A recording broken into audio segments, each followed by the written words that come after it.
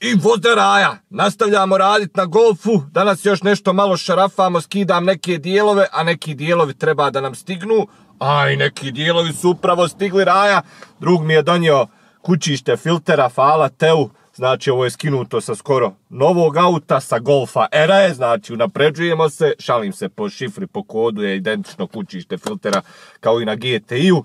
Znači to ćemo da odradimo danas, da vratim ovo, da još neke plastike zamijenim, da krenem lagano da sastavljam auto, iako raje ovo ide malo sporo, moram uzeti obzir i da su godišnji odmori i da ja dijelove moram nabaviti iz drugih država, da mi treba malo vremena.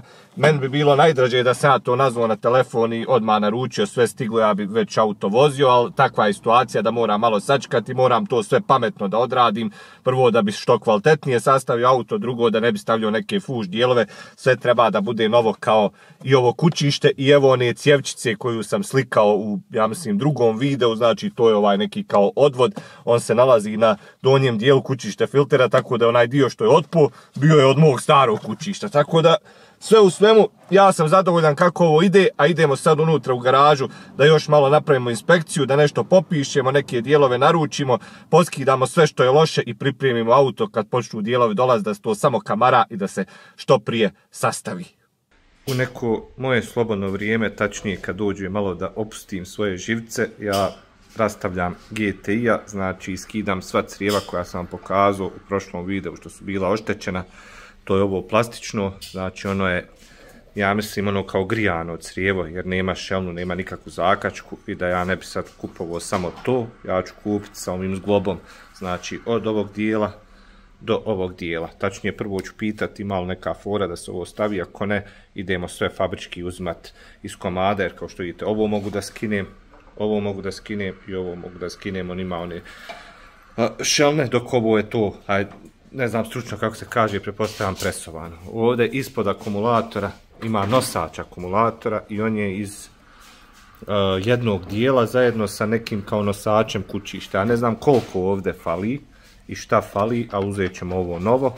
Ja sam odvrnuo jedan šaraf, drugi šaraf ja se nadam da će ono izaći vani, međutim ima puno kablova koji idu preko ovog kućišta pa to moram sve lagano rastaviti, osigurati da ne bi još šta dodatno slomio. Uglavnom sve se mijenja bilo šta da ima trunku, da je okrnjeno, s auta se skida, uzma se novo, evo recimo ovo crijevo sam ja samo povukom se vratio u prvi tam položaj, ali s tim da se iskrivio, ja ga ne želim na autu, tako da ću uzeti i ovo novo, znači jedno crijevo klime, drugo crijevo klime zbog ovog i treće crijevo klime, ali sreća, oba ova crijeva se otkači ovdje ispod boci. Sad ću vam pokazati, moram blicu pa da vidjeli, evo ovdje. A ovo crijevo što ide na kompresor, ide vamo na hladnjak, tako da je ono najlakše da se skine.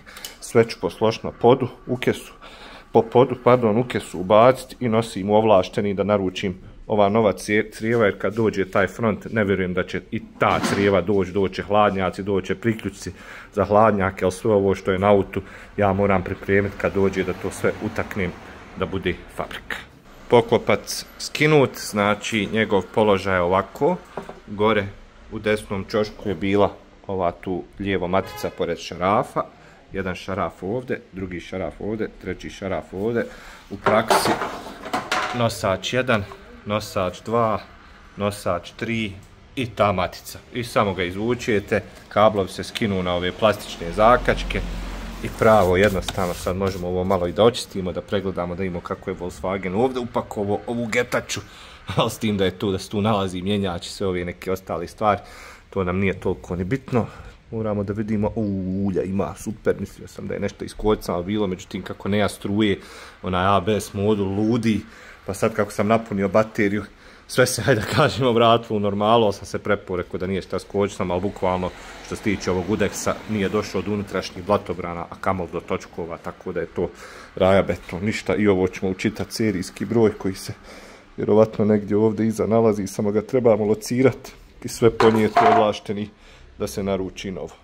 Logično da ćemo u ovom čitavom serijalu spominjati Car Vertical posebno jer ja popravljam udareno auto, znači nema sumnje da je on bio razbijen, sve je crno na bijelo u svakom videu, to spominjem, popravljamo udaren auto i onda tu imamo sad dobru konekciju s Car Vertical, najbolji primjer da vam ja pokažem kako to funkcioniše. E, slušajte sad dobro, ovaj auto koji sam ja kupio je kasko osiguran. Da vam to objasnim ako niste iz BiH, ja ne znam li u drugim državama se to zove kasko to osiguranje, znači bili vi krivi ili ne, vi ćete naplatiti štetu zato što ste ga osigurali na sve moguće nezgode. E sad, da ovaj auto nije bio kasko osiguran, vlasnik bi morao sam da popravlja ovaj auto, ne bi mu osiguranje dalo ni feninga. E sad, kad bi se takva situacija odigrala u ovom mom slučaju, taj auto bi vjerovatno poslije nezgode završio negdje u garaži, niko ništa ne bi znao o tom autu. Tačnije, neko bi ga popravio, prodao bi ga kasnije i tu bi bio kraj čitave te priče. S tim da je auto kasko osiguran i da će dečko naplatiti ovu nezgodu, on je morao otići u ovlašteni, da oni naprave predračun, da potpišu sve te stvari i da on može to da preda osiguranje. I iz tog razloga mi sad kad uzmemo carvertical.com, znači u opisu mog videa imate link i upišemo broj šasije ovog Golfa, izaće nam izvještaj da je auto bio oštećen. Zašto? Zato što Car Vertical crpi sve te online informacije. Oni ne mogu sad ići tamo na oglasnik i tražiti tačnije na oglasnike, na portale, da li je ovaj auto bio razbijen, da li je bila nezgoda, nego jednostavno moraju crpiti informacije, online informacije od svih salona, servisa, mehaničara, ne znam, tako ti neki ovlašteni dilera, prodaje, kao što je Kopart, recimo na Kopartu najviše izvještaja imate. I ovdje imamo da je auto bio oštećen, kao i dole kad spustimo malo dalje imamo otprilike procjenu te štete. Iako ste vi sve primijetili da to nije ništa strašno, tu ima nekih skupih dijelova i zato je procjena štete između 20 do 30 hiljada eura. Zato što su farovi, jedan far vam je 3.500 maraka, znači dva fara 7.000, virtual cockpit vam je 3.500, e, ne znam, tabla je 3.500, airbag table je 2.500, svaki drugi airbag je po 2.500 i to se nakupi. Iako znači nije ništa, kako smo mi to rekli, strukturalno oštećeno, oštećeni su skupi dijelovi i onda se to puno nabere u ovom izvještaju i onda to izgleda kao ozbiljno oštećenje. Što se tiče novca jeste, a što se tiče ovih stvari što sam ja vama pokazao i nije strašno. Tako da je odličan primjer kako Car Vertical funkcioniše. Znači moj auto ima na izvještaju, kad se bude prodavao ja ću uvijek davati taj izvještaj jer je to crno na bijelo šta se desilo, a sa detaljnije informacije vi možete dobiti u ovlaštenom Mislim, možda i ne možete sad samo tako otići reći šta je bilo s autom da vam oni daju listing. Ali ovaj listing koji ja imam svih dijelova koji su otišli na ovom autu, on je zapisan u ovlašteni i uvijek će biti to njegova historija. To se ne briše i to je odlična stvar da znate dobro šta je otišlo i da nije nešto strašno bilo s ovim autom. Tako da raja još jednom čist primjer carvertical.com u opisu mog videa imate sve informacije i naravno gore u, ovom, kako se zove, pretraživaču, kad uđete na strancu, imate mjesto za broj šasije, samo tu upišete i on će vam izbaciti. Evo, da li je bio auto udaren, da li je bio ukraden, da li je bio na taksiju, ili su neku kilometražu tamo spuštali. Eto, to je čist primjer, ako imate pitanja vezano još za car vertical i mog golfa, slobodno pišite, a mi se vraćamo u garažu. S tim da haubu drži samo četiri šarafa, ja sam odlučio da je skinem, ništa komplikovano i eto s tim da ste me vi iznapadali što ne skidaš haubu, ja sam kontono eto da poklopim motorni prostor, ali nije toliko prašnjavo u garaži da će se to nešto i uprljat. I sad ćemo da pređemo da riješimo jedan problem unutra koji mi je jako bitan da bi dobio neke informacije vezano za auto, tačnije da imamo kakve greške sve izbacuje ovaj auto. Ono što ću ja još probati da skinem prije tabli jeste ovaj ekran, tačnije ovaj okvir oko ekrana Virtual Cockpita i ovog ovdje centralnog, zato što moram da izvadim Virtual Cockpit da bi uh, uzeo kod ekrana, da vidim mogu da zamijenim samo ekran, da ne mijenjam čitav sat, jer sat je ispravan, to isto kod na mobitelu pukne ekran. Znači on je ciknuo s vanjske strane, nije sat, ništa sat funkcioniše, pa rekao sam da ima negdje da se kupi samo ti ekrani pa ćemo vidjeti hoće li to moći tako da se odradi, ali svejedno i kad budem tablu skidao moram skinuti ovu plastiku jer treba počupati ove ekrane i iza ima još neki šarafa. Tako da ova čitava blenda je raja iz jednog komada i ne drži ni jedan šaraf, ali toliko je tanka u ovom gornjem i donjem dijelu da baš morate polako to odvojiti od ovog rama da se ne bi slomilo, tako da ću ja to laganica s ovim plastikicama sada pokušam iščupati.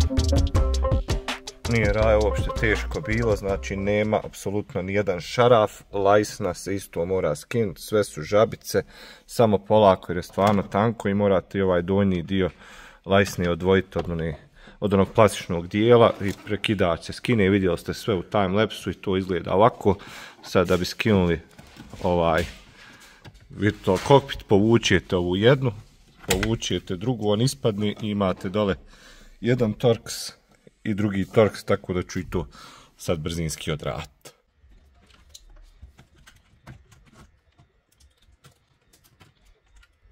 I eto, tako vam se skida Virtual Cockpit u Golf ospici.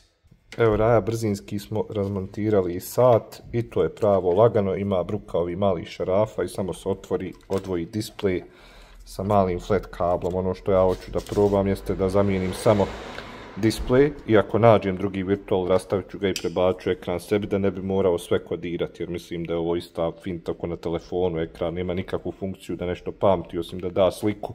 A ovo je glavni mozak koji se povezuje s autom, tako da nećemo morati ništa kodirati, ostaće ista kilometraža, sve će biti kao novo, samo ćemo zamijeniti ekran koji je, evo možete da vidite, nažalost, ciknuo, pa ćemo da vidimo koja je varijanta, ovdje ima neka šifra, pogledat ću na internetu da li mogu samo da kupim, znači još jednom taj ekran ili moram kupiti čitav head unit pa odvojiti ekran.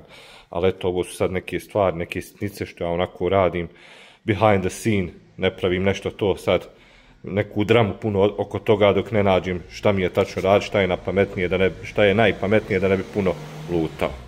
Kad smo se već zadali oko GTI-a, odlučili smo da skinemo i ovaj blatobran. Pola vas je pisalo da se moraju vrata skinuti, pola je govorilo da se samo skine unutrašnja obloga oko točka. Mi smo probali, znači na taj drugi način, skinuli unutrašnjost i došli znači s blatobrana, ali opet je bilo jako škakljivo skinuti plastičnu zaštitu koja se nalazi između vrata i blatobrana i mislim ako hoćete da uradite savršenstvo da morate skinuti vrata, ali eto mi smo se u ovom slučaju snašli, vidjet ćemo šta će biti kad budemo vraćali nove blatobrane, hoće li biti to lagano ili stvarno morat da skine ta vrata, sve u svemu nije bilo ništa teško, eto tu su još neke te gumice što sam ja vama tačnije spužvice pokazao da i ja zapamtim o čemu se tu radi i eto ga odšarafili, tu smo završili šarafanje i sad čekamo da nam stignu neki novi dijelovi da ih počnemo lagano redat na getaču. Evo dok čekamo poštara da nam donese neke dijelove, Dino je donio neku robu za njegovog BMW-a, ne znam da li sam vam prikazao taj auto, uglavnom skinuli smo čitavu centralnu konzolu da bi on ugradio ovaj cup holder koji fabrički ovaj, je dolazio u toj konzoli, međutim da bi se postavila ista mora se ovdje u jednom dijelu izrezat i čita mehanizam, znači dobijete i neke ukrasne i onda se ubode i možete ga izvaditi kasnije da vam ne smeta. Mada mislim da mu je pozicija top i ove boje se fino slažu. Pardon, se tako to ide. I dobijete sve Evo i ove dodatne plastike koje će se našarafat ispod konzole da bi dobili taj nosač. Evo ovako ovdje to ne dođe. Ja samo sa ove unutrašnje strane moramo jel, izrezati s ove strane. Ovako, evo, vidiš. Tačno na ovaj šaraf se nasloni. Aha, ima čak, aha. E, vidiš, koristi fabrički Da, da, da. I onda znaš kad ovo postaviš, znaš gdje ćeš, gdje ćeš probušiti. Sad ćete vidjeti kakva je skalamerija vani. Ovo je njegov BMW, znači 123 dizel u pravo dobroj opremi, šiber, automat, digi klima, velika navi i ovo smo sve raščerupali, nije bilo nešto teško, bilo je otprilike oko 6 šarafa i to je to. Nisam to htio nešto detaljsati jer opet ovo je nešto za sladokuce, ne znam koliko će ljudi razvaljivati ovo da bi stavili cup holder, Dino voli znate, još od GTC-a da uvijek šarafo neke tako zanimljive stvari, tako da ćemo samo vam pokazati finalni proizvod kako to izgleda kad se izreže i namontira. A few moments later. E, znate onu tri put mjeri jednom reći, e, mi smo mjerili 200 puta i rezali još jedno stotinjak da ne bi napravili štetu, tačnije da ne bi odrezali previše. Ovo je otprilike ovaj oblik koji nama treba, znači možete ajde da kažem ugrubo pratite ovu gornju liniju Bogdu da ostavite, zato što će ovaj pokopac nju poklopiti, a dole idete isto od ove linije, znači nije uopšte teško, samo pratite liniju table i tačnije ovaj, da kažemo, prijevoj kao, kao zglob neki i kad postavite nosač, znači zašarafi se na svoje fabričko mjesto i samo preko ovo upadne ovaj drugi, ispod imaju dva šarafa i vidite koliko pokrije. Znači tačno ovu gornju lajsnu, ide ravno po gornjoj lajsni i spušta se dole na donju, tako da možete još malo ispustiti to, ali uglavnom to je taj oblik i ovako lijepo diskretno izgleda kad nema cup holdera, još kad pričistimo priče ono konzoli, a kad hoćete da stavite, gdje nam je onaj cup holder? Znači, samo se kroz ova vrata, kontra, evo, do meni, aj nema vezi, ubode u ovo, evo ovako, nećemo sad da guramo jer nismo prišarafli i on stoji ovako. Ali ajde sad još ta dva šarafa odradimo da imamo koliko je to čvrsto, hoće li to valjati, jer treba ovdje malo tereta da se ovo pritisne, ali opet kad skontaš da će ovaj poklopac biti njegov oslonac, znači ne bi tu trebalo biti problema jer to ide na kraju ovako. To izgleda ovako sa unutrašnje strane, dva šarafa i kad okrenete, evo da vidite kako je tight fit što se kaže, znači uz čitavu konzolu, nigdje ne zijeva i ovdje se zakači znači za falc konzole i to kad ide u bode izgleda ovako i eto ga dobili ste cup, cup holder, ali mi nemamo flaši da to demonstriramo, ali nema veze sad kad ovo vratimo sve u auto pokazat ćemo. A? Može li jelinski? Može. Eto. Full! Hajmo sad ovo naša rafat nazad.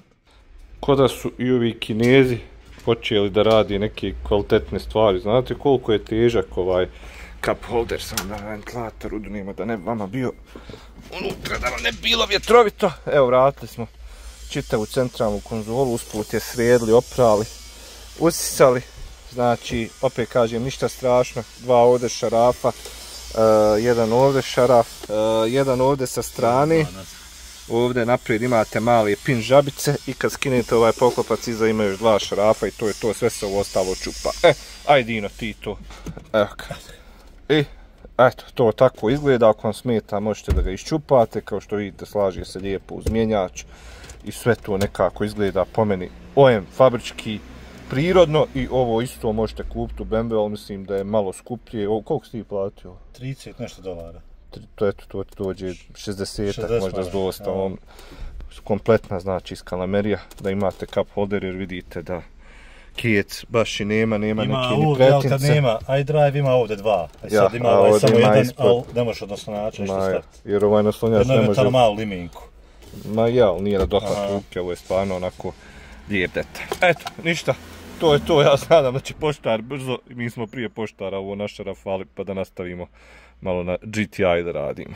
One eternity later. Evo ga, stigo nam je i nosač akumulatora, nov, bez jedne greške, skinut sa auta koje je prešlo samo 15.000 km, tako da je mlađi od ove moje skalamerije i ovdje sam sad sve to fino poredo da našarafamo, sad možemo da vidimo šta je to puklo na starom kućištu, znači fali nosač filtera, tako da ćemo završiti čitav ovaj ovdje dio i dobit ćemo odličnu radnu površinu za ovo što slijedi. Naravno, poslije ovog videa, sad ću ja to sve brzinski da sklopim, a što se tiče ovih crijeva, znači dobio sam neke informacije, ova tri crijeva od klime, ovo metal guma kombinacija, dođu oko 1000 maraka novi ovlaštenom, E, ovo ovdje crijevo sa termostatom je 115 maraka, s tim da je ove dužine, prepostavljam da i ova crijeva neće biti nešto pretjerano skupa, tako da računam od 80 do 100 maraka da će mi trebati još ova dva da zamijenim. I raja, to je to, fabrika, čekam informaciju za ovo crijevo, pa ćemo poručiti ono što se može poručiti, što se ne može poručiti, tačnije što bude stvarno preskupo, naćemo opet na nekom autu koje je malo prešlo, da bude to opet sve ko novo. Sad ćemo za sad, znači, da namontiramo sve ovo, vratim akumulator, zato što danas bi trebao doći dečko da mi donese virtual cockpit e, sa Golfa Era, da prebacim ekran i da to sve spojimo, da pustimo struju, da vidimo šta će na tabli izbaciti, ali da ne žurimo toliko unaprijed, hajmo ove sve plastike nabaciti, čak sam dobio od prijatelja i ovu gornju plastiku sa ovim usisnicima, vidjet ćemo hoće li doći u setu, ako ne, znači imamo je super tu kao rezervu. Idemo šarafat! Znači, ništa komplikovano, prvo treba da gurnemo ovaj dio koji je bio puknut ispod kablova, tačnije gdje se nalazi i klema. I on se sam poravna na svoje mjesto. Ima te neke kao plastikice da se centrira i to je to. Imamo tri šarafa, Dorica desetka i jedna matica, to ste vidjeli malo prije u početku videa i to je sve što drži ovo kućište na mjestu. I već mi je nekako ljepši osjećaj kako počnem vraćati ove sve dijelove. Auto će polako da poprima oblik, jel, ispravnog auta.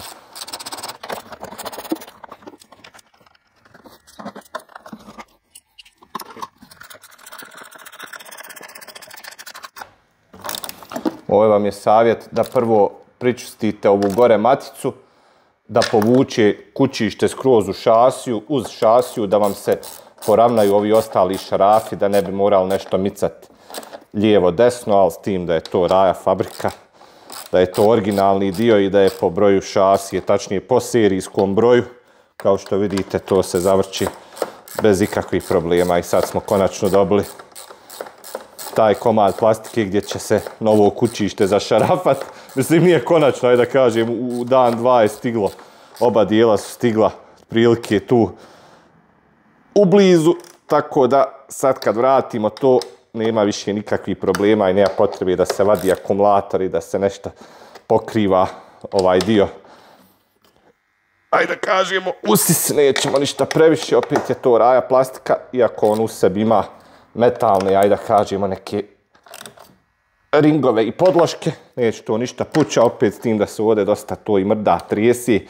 Motor je, pričvršit ćemo onako, da kažem kako treba. E, dobro, to smo riješili. E sad, da se ubode ovo kućište, tačno je gumeni nosač ispod, prvo ćemo gunit ovaj zarez da se poklopi. I jedan nosač. Odlično. Ušao. Ušao raje i drugi nosač. Imam ovu cjevčicu, ne znam da li ona u kadru. Ali sad ću ja vama pokazati kako to sve izgleda. Možemo otpustiti šelnu. Joj, kako to odmah izgleda ljepše, znači sve smo povezali, šelna, malo crijevo spojeno na svom mjestu, to je možda bilo malo dole lijevo u kadru, samo moram da odvrnem ovaj šaraf, da bi vratio nosač akumulatora, on stoji otprilike ovako i drži akumulator u mjestu, znači oko čitavog akumulatora, a ovaj još jedan metalni držač ide također ovdje dole u ovaj zadnji dio, i on isto drži akumulator da se ne bi micao, tako da ću to sad da vratim gdje mu pripada. Svaki nosač na svom mjestu, znači nema fuli u milimetar je sve kako treba i ja volim kad se takve stvari dešavaju, a ne volim ove neonke koje mi raja i dalje zuje. Znači prvom prilikom ću sve ovo počupati samo da ovog GT-a sastavim. Ništa, vraćamo akumulator na njegovo mjesto i sad bi trebao kroz prilike dva sata dečko da dođe s ovim virtual kokpitom da pokušamo to i u ovom videu napakovati.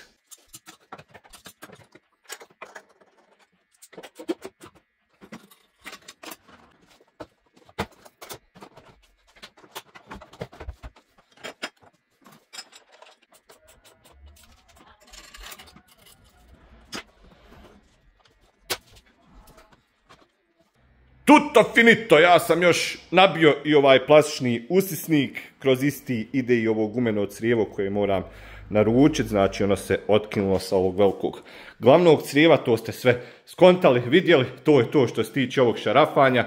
Dečko sa Virtual Cockpitom je krenuo iz Ljubuškog, znači za jedno dva, dva i pol sata je kod mene, pa da vidimo šta će tu biti, ako ne budemo ništa uspjeli napakovat, tu ćemo se raja i pozdraviti, a ja od ovo malo izetova dok on dođe da ubijem malo vrijeme.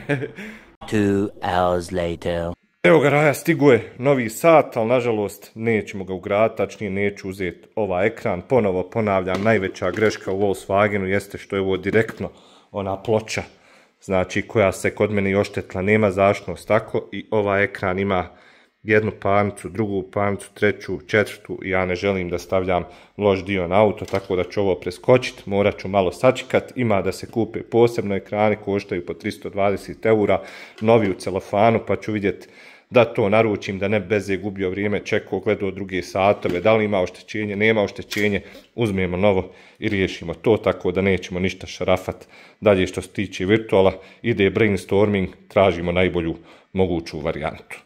I eto, nažalost, ovdje ćemo završiti ovaj video, jest da je to sve, hajde da kažem, na moju štetu što se ovo ne šarafa, ali ako ću sastaviti auto, sastavit ću ga raja kako treba, ne igram i ulogu 5, 10, 15 dana, bitno je da to sve završi se kvalitetno, da se odradi što je bolje moguće, jer i ja ću ga jedno vrijeme voziti dok se ne proda i neću da vozim nešto što je ili neispravno ili što nije kako treba posebno virtual koji ja gledam i kad se ugasi ove parnice bi se sigurno vidjele. Nećemo to raditi, sačekat ćemo malo, a vi raja, ako vam se svidio ovaj video, bacite like, podijelite ovaj video, prepacite na moj YouTube kanal, a mi se uskoro vidimo u novom videu, sad da li će to biti update sa GT-om ili nešto drugo, vidjet ćemo. Idemo jako raja, vidimo se, pozdrav!